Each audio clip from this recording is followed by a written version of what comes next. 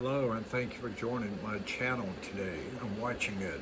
Today I'm going to be talking to you about business, specifically the lawn care business and how to increase your earnings. But before I do, I beg you, please like and subscribe and leave a comment. This will benefit you as well as me because it will provide me a money to go out and talk to people and interview them and ask them the questions of how you can increase your profits. For me, the one thing I know about business, I've been in this business since 1988 in Tidewater, Virginia. Before that, I was in North Carolina. And to be honest with you, I never did make the money that I thought I could. And the reason I never made it was basically because of I did not know the industry. And if you don't know the industry, you will not make it. That's the whole key. What you charge, what you charge, what you charge. If you're just saying, oh, I need to make $30 an hour, $25 a job, $30, 45 you can't do it by guesswork. You have to be competitive. Well, really, I'm not competitive, but you have to be, know what your competition those others that are in the business are ch charging. For E, if a lawn care company such as Lawn is charging $500 to overseed a lawn, well, what do you think the cost should be? 500. Don't you think they have done market research to find out how they can make money in this industry? Okay, for me, I'm not a lawn care business, okay? I'm a land, landscaping company, a lawn care company, and I provide seeding for my customers in the fall or in the spring if they need it. So you have to look at who you are as a company and what you're doing and also your overhead. Well, me being me, it was last year that I started studying industry standard for each thing that I do. And what I discovered was that industry standard told me to charge $120 for mulching per yard.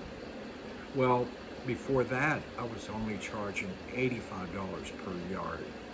Now, can you imagine the price difference, the jolt that was for my present clients? But yet, people were willing to pay it because they knew that everything has gone up and that I needed to uh, pay myself. Now, cutting grass, that's a whole different subject within itself because I charge a minimum of $40 per yard. And that's at least 30 minutes in a yard. And my rate is I'm charging a dollar per minute $65 an hour, sometimes 60, sometimes 85, sometimes even $120 if I'm picking up a chainsaw.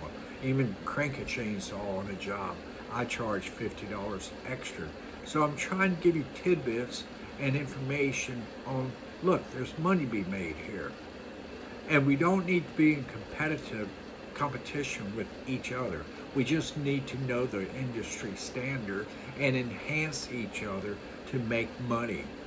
If, if I go out and bid a job $60 and then somebody comes in and lowballs me and charge, say I'll do it $45, who are they really hurting in the end? It's the industry. So you have to be willing to make the money if you're going to be in the business. And a lot of people, this is a cash business, I'll admit, and gets paid in cash. And they take the cash, they stick it in one pocket, stick checks in another pocket, and at the end of the day, they go out and have a jolly good time with the cash on hand.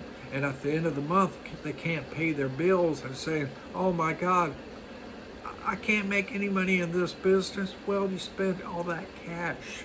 You can't be spending the money you're making. You need to stick everything in your checking account and account for it so that at the end of the year you can say, look at the numbers and say, oh, I did well.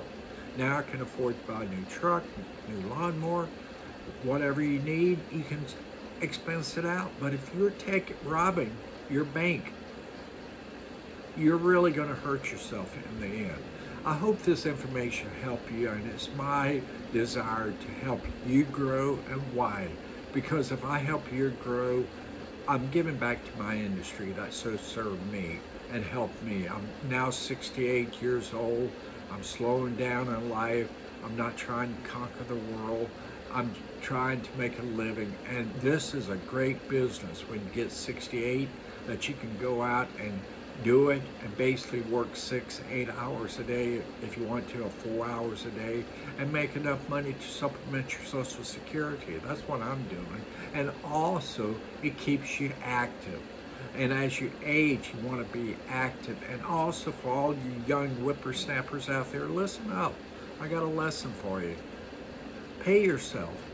And also invest in your future in the sense of sticking money aside and saving for your retirement because it comes quick, okay? It comes very quick. And when it does, you'll look back and say, oh, I wish I did this or I wish that I did that. But there's no going back. It's now. What are you doing now to make a difference for tomorrow? So do your best and thank you for watching. Please like and subscribe. And thank you so much for watching this video. Bye-bye.